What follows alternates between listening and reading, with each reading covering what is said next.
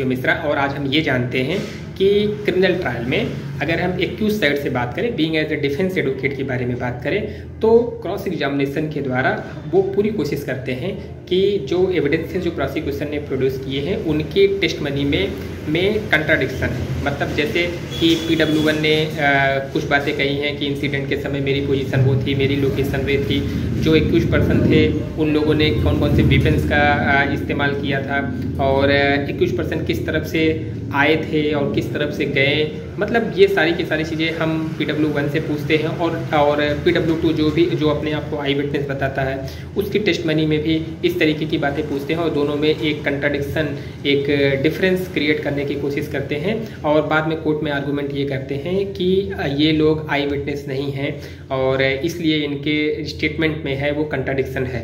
तो बेसिकली इसके बारे में कुछ अपेक्स कोर्ट का क्या जजमेंट है? तो बेसिकली ठीक है being as a defence advocate ये बहुत अच्छी अचीवमेंट है और यही आपको करना भी चाहिए कि क्रिएट डाउट क्योंकि बेनिफिट ऑफ़ डाउट हमेशा एक्यूज पर्सन को ही मिलेगा।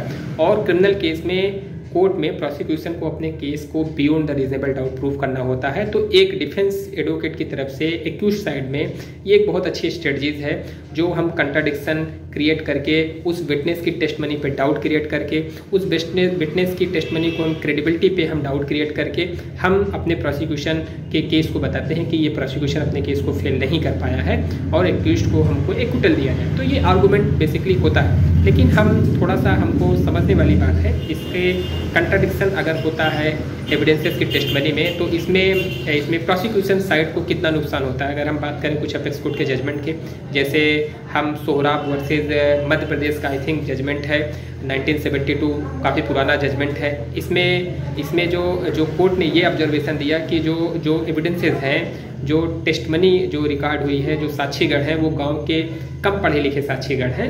तो साक्ष में थोड़ा बहुत जो विरोधाभास है, वो स्वाभाविक होना बात है, ऐसी कोई बहुत बड़ी बात नहीं है। और आगे इन्होंने जो प्रिंसिपल सेट किया कि एक बात में मिथ्या तो सब में मिथ्या, इस कारण से युक्त युक्त ये कोई बहुत अच्छा नियम नहीं है। तो अच्छे जजमेंट है, सोहराब वर्सेज मध्य प्रदेश दो उन्नीस के जजमेंट है।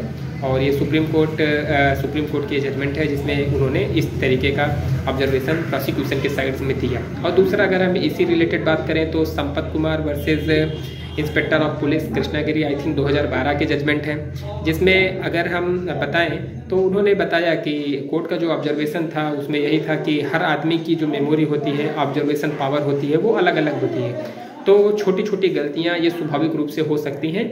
ऐसा नहीं है कि क्योंकि हर आदमी का जो मेमोरी होता है क्रैसिंग पावर होती है, समझने की जो काबिलियत होती है, वो अलग अलग होती है।